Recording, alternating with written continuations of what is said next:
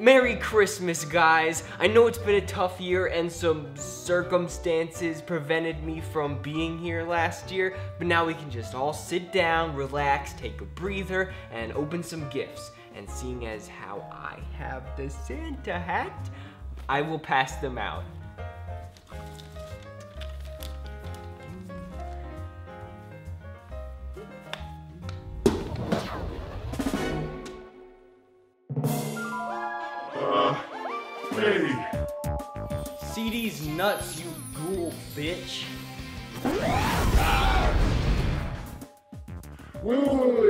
Wait, it's just me, the alternate universe version of you. I'm I played Mario Odyssey and I get it. I'm not here to stop you from being a YouTuber or anything. I just came by to say happy holidays.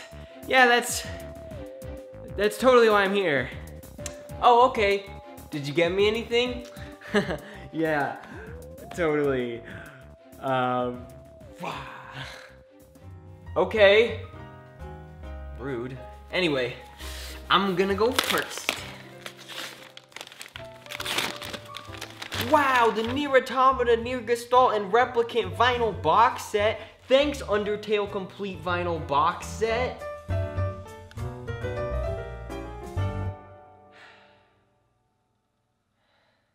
I need to get out more. The evolution of music distribution over the past couple decades has been eventful, to say the least. That sounds like a really boring topic sentence to a subpar research paper, but stick with me here. With the introduction of digital media in the early 2000s, many people were happy to give up their cluttered piles of CDs after discovering they could download files of songs and own them forever. As the illegal distribution of said files became more and more prevalent, the music industry developed streaming services to regain control of the market. And while I can't deny that streaming services provide an amazing level of convenience and quality, there are some glaring issues. Most notable is the fact that streaming platforms devalue the content they provide. Spotify, for example, only pays around a third of a penny per stream, and this method of distribution further damages those trying to produce music independently. There's something disheartening, to me at least, about not properly supporting the artists I care about or never owning their music. Nowadays, the desire to own entertainment has become outdated, let alone own it in a physical format. So by the time video game music became prevalent enough to be published outside of the games themselves, collecting music in general had already receded into a niche hobby. But the people that enjoy collecting video game music pressed on the outdated format that is vinyl, we, um, we exist. It's more than just me. I hope. When it comes to the things I care about, I like seeing them tangibly. I suppose this may doometh me to the fourth circle of hell for being enchanted by mine worldly possessions, but I like knowing that if an online service were to go out of business, whether it be streaming or download, I could still listen to songs as long as I don't scratch the disc or record. That's on me. There isn't anywhere near the amount of demand for video game music to be sold in America as there is in Japan, where many soundtracks and even indie games see physical releases on store shelves. Almost every video game soundtrack I've purchased in the US has been from a company that produces them for a smaller audience, often as vinyl and in very limited quantities. But instead of continuing to write a research paper about the downfall of mainstream physical media, I want to talk about why I, along with a growing community of others, do collect more than just the games. Why the soundtracks specifically? I like to collect things that mean something to me. For most of my life, that's been the video games themselves. And maybe there was a year or two where acquiring 63 pieces of plastic was my top priority. But over the past few years, and especially after creating YouTube videos and diving deeper into every facet of this amazing medium, I've grown obsessed with video game soundtracks. An indie studio I fell in love with this year was Supergiant Games. After getting my socks knocked clean off by the high-octane gameplay and rocking guitar riffs of Hades, I decided to blaze through the rest of Supergiant's library. Pyre's character writing and subtle uses of dynamic music made me cry, and Transistor's vocal themes just fucking kicked me while I was down. And then Bastion?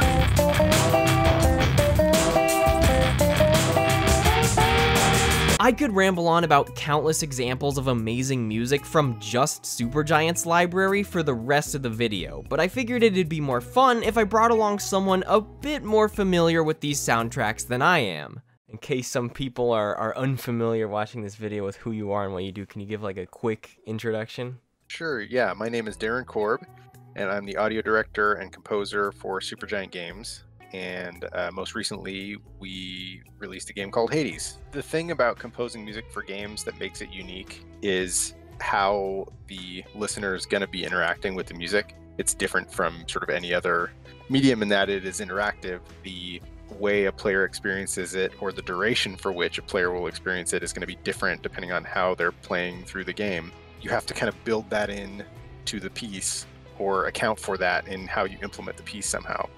So I think that's probably the main difference and challenge with composing for games. That being said, you know, the, the games that I've worked on with Supergiant, um, which is all the games I've worked on, have have been really creatively free. It's been a lot of fun to really try and express the feeling of a particular place um, and and setting through the music as as much as I can. If it's punishment you want, how am I to say no?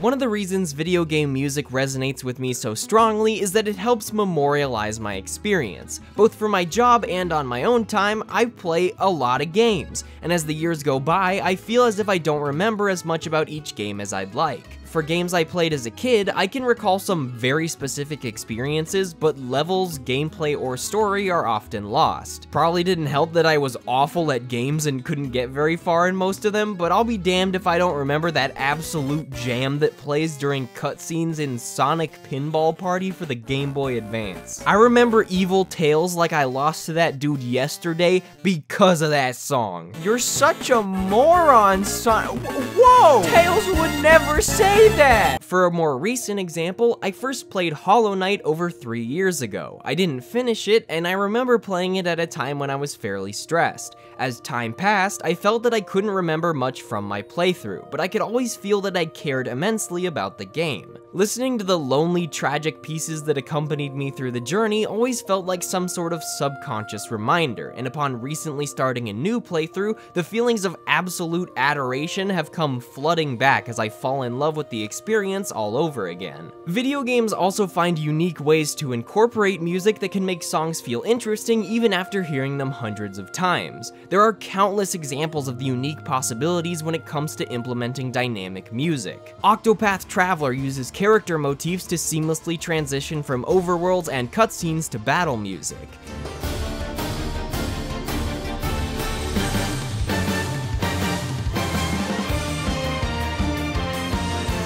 Nier Automata implements a similar technique, designing several versions of each area theme to shift into battles and events without changing the musical base.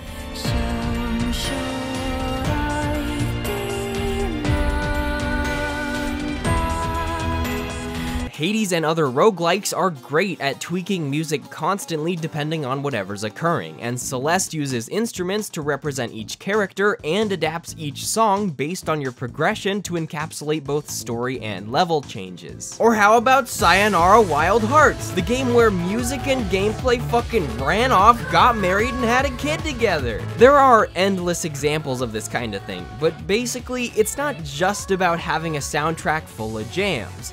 It's about how you use them. I think how reactive it is to a player, uh, can, it can be to a player's experience and really feel like it's sort of a piece of music that is in real time responding to you in some way and reacting to the, the way in which you're playing through a sequence of a game. Uh, I think that's really fascinating about it. So, so in context, you know, I think that's what's something that's special about game music for sure.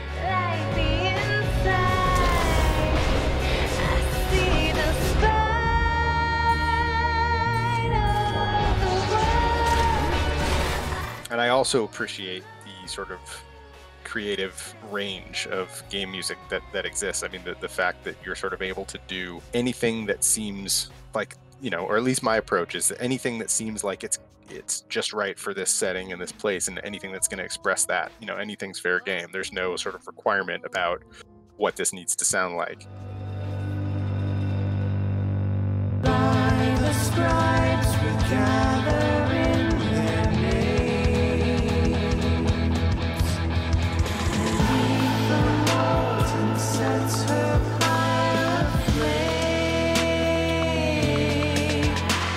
What I'm getting at with all this is that music is probably the biggest takeaway from the games I play, as it serves a pivotal role in defining a game's entire style and identity. Hypnospace Outlaw's wacky MIDI tunes immerse you in its fake internet universe, VA-11 HALL-A lets you customize your perfect playlist before each night of cyberpunk visual novel bartending, and Lethal League Blaze wouldn't be Lethal League Blaze without the funky fresh beats.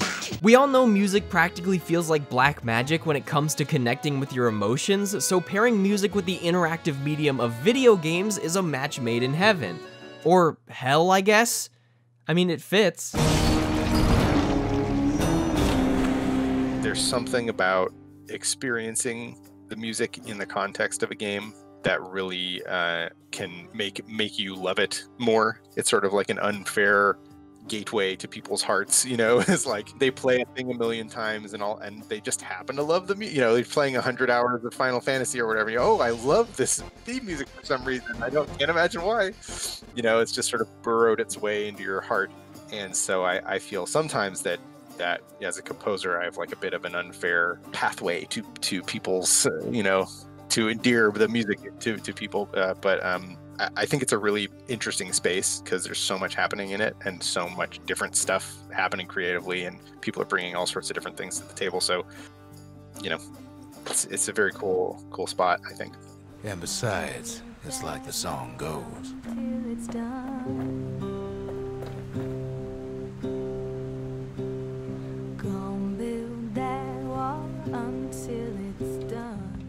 Even though video game music is only one piece of the massive multimedia puzzle that is a video game, it can mean just as much to those who play games as a song composed simply to be music might mean to someone else. We might have at least a little ways to go when it comes to appreciating music in the gaming industry at large, we knew this year that the Game Awards Orchestra wasn't going to be easy to pull off, but we had to try. I know how much we all love video game music. I know how much we all love video game music. Oh, do we now? Then why was Best Music and Score relegated to a 59 second segment the pre-show? I bet these guys didn't even know there's a dedicated hum button in Transistor. But what matters is that the players are continuing to recognize the importance of video game music every year. So so while we now understand why people love video game music, the question still remains, why do they want to collect it physically? Because despite being an incredibly niche hobby in the grand scheme of video games and pop culture, we're currently experiencing something of a physical video game music renaissance. But again, why on vinyl records of all options? There are these huge, plastic discs that you gotta hold correctly so you don't scratch them, and they wear over time just by playing them a lot, and you gotta keep dust off of them by using a carbon fiber brush and keeping them sleeved on a shelf, but when they're on the shelf, you gotta make sure that they're not bending or placed incorrectly, and that the room isn't too hot, otherwise they'll warp, and when you're playing them, you gotta keep an eye on the needle, and you gotta Ooh, I bet that's the 3LP Pyre soundtrack I just ordered. I'll be right back.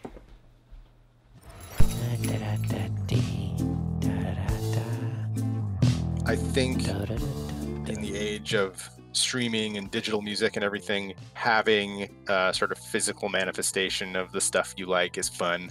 And being able to sort of have a thing you can admire and touch and manipulate and and just the act of sort of listening to an album is really satisfying because you can't just put it on and go about your business. You have to sort of come back in 20 minutes and flip it over. And you know you can't you can't you have to at the bare at the bare minimum you've got to come back and flip the record over. So i think i really enjoy the sort of ritual of having to actively listen to to something instead of just an infinite playlist of the whole internet, you know?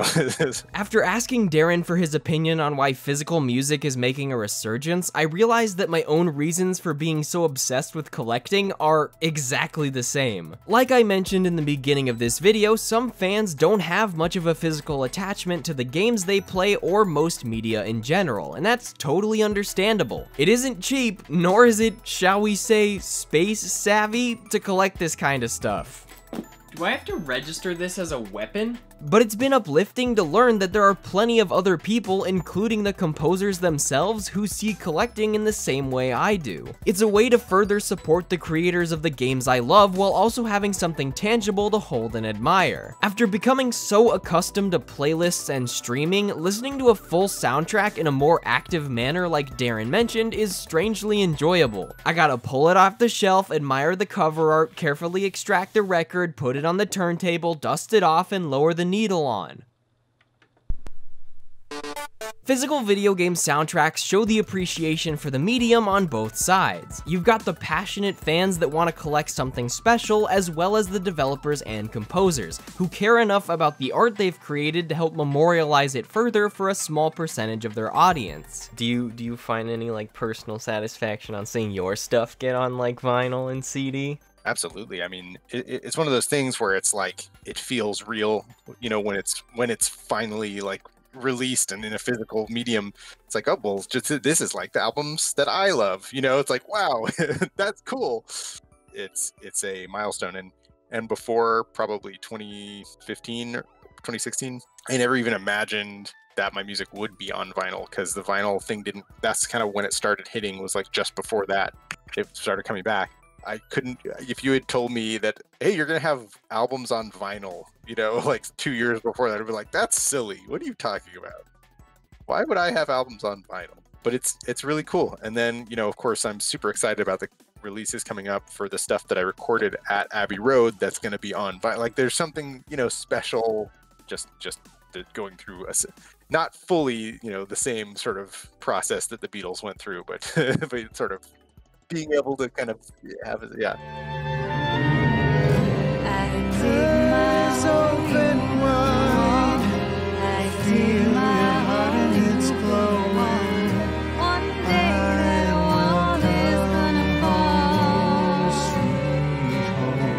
Most publishers don't just slap some box art on a paper case and call it a day.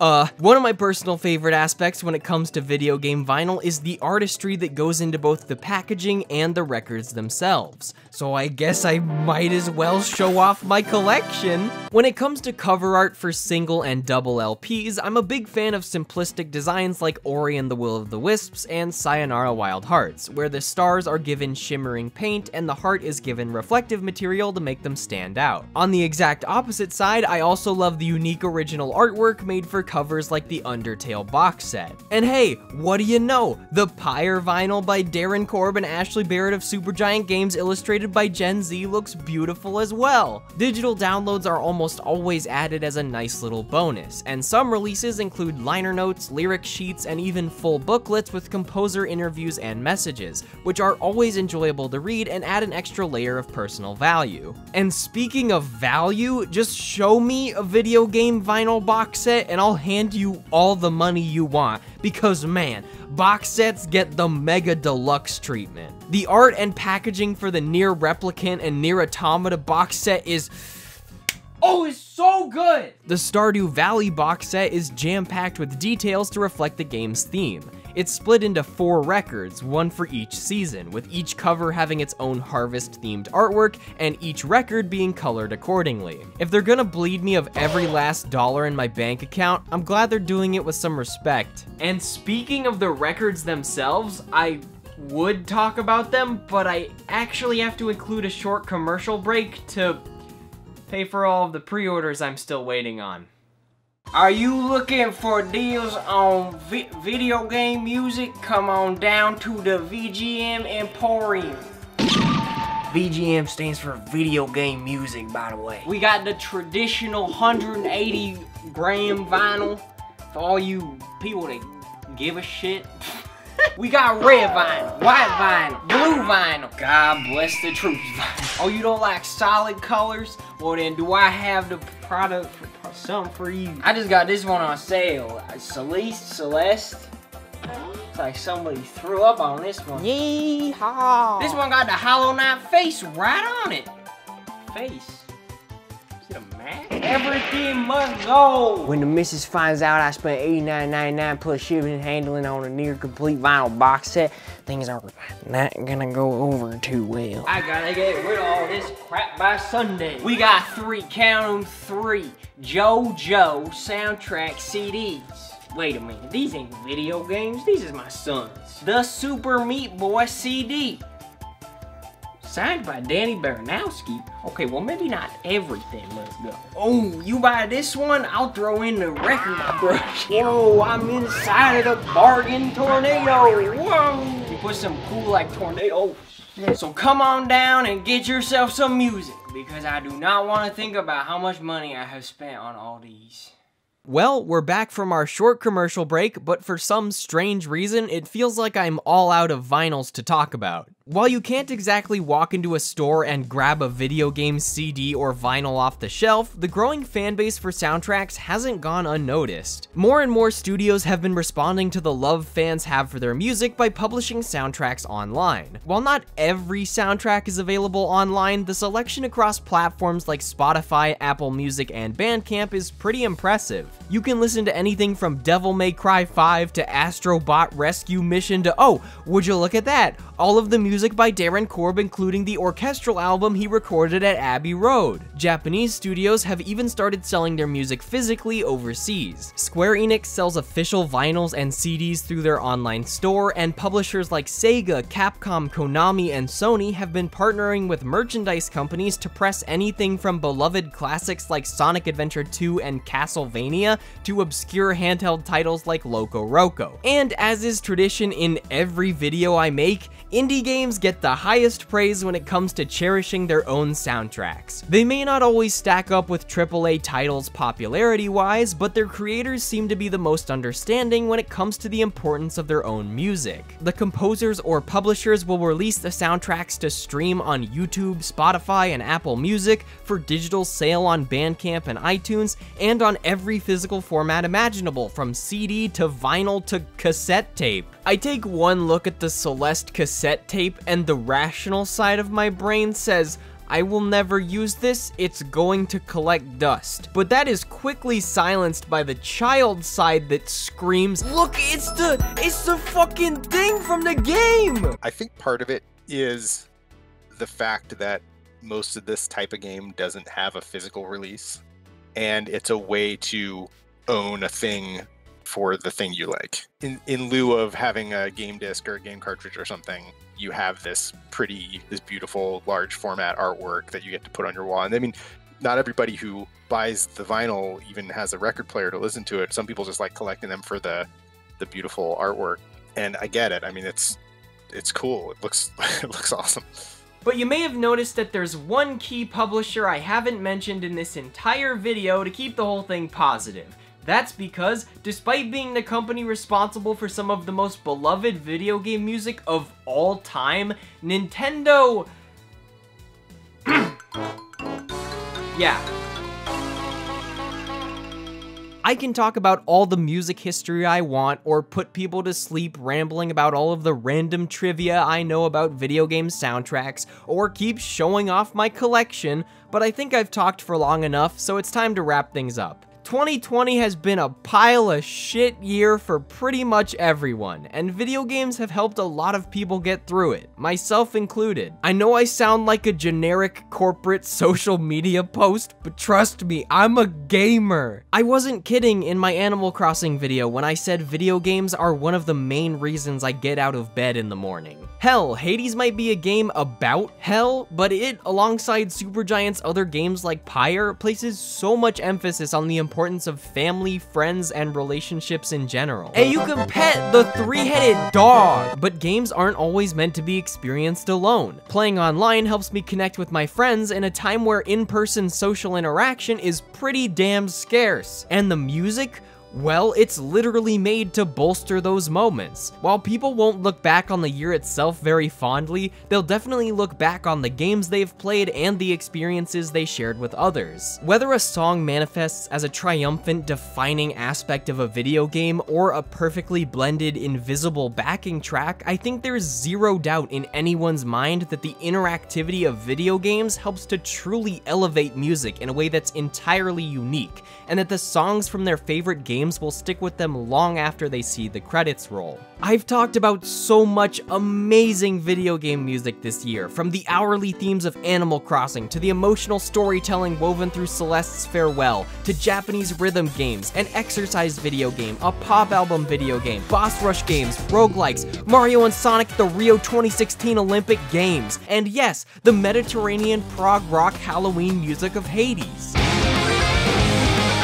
As a fresh but huge fan of Supergiant games, I feel so lucky to have been able to chat with Darren Korb. It was easily one of the highlights of my entire year, and having a position as a creator where I can have access to that kind of opportunity, and hell, just being able to talk about what I love and see that hundreds of thousands of people care about the same things, no matter how obscure they may seem, it's a really cool feeling. So I'd like to give a huge thank you to Darren and to all of you for watching this video. I'm just doing the, the, the thing that I see in, in YouTube interviews where they're like, all right, floor is yours. like, I don't know. Um, well, there's uh, you know, Supergiant games games. You know, we have four games. You can play those. That's a thing. Uh, and the soundtracks are available. And and you know, I've got a I've got a band called Control Group, and I'm working on a new album with them that's been kind of kicking around for a long time. So hopefully that'll come out. You know, next year or something. We'll see. If you're new here and you enjoyed the video, please consider subscribing. And if you'd like to support me and the videos I make, you can check out my Patreon at patreon.com slash yakkocmn or through the link in the description. I'll be uploading the full interview with Darren for my patrons, and you can also get your name in the credits and access to exclusive monthly videos where I review games, share behind the scenes content, and chat about my creative process. As strangely inefficient as it may seem to collect modern music pressed on such an outdated format, seeing my favorite soundtracks makes me smile like a big dumb idiot. Out of all the things I collect, video game records are definitely the most bizarre, but whether it's the beautiful cover art, the specially designed or colored records, or just watching the vinyl spin while listening to the music, this hobby and supporting video game composers in general is one of the most comforting feelings I've found as of late. And now, to perfectly finish off this video by tying together everything about the magic of video game music, physical collecting, supporting artists, and most importantly, to thank Darren Korb, I can officially add the Songs of Supergiant Games orchestral vinyl signed by the man himself to my collection live on video. What a great end to the year.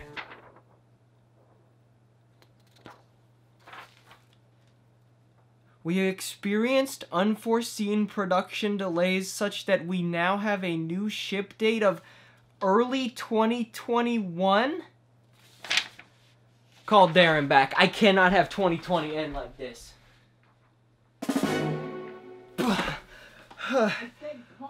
back. I'm not mad at Supergiant. I love Supergiant. I'm upset with the world. I can't believe I was this unlucky. I've been planning this specific ending since I pre-ordered the soundtrack back in August. Do you think I could like mail him a piece of paper and he'd autograph it or something?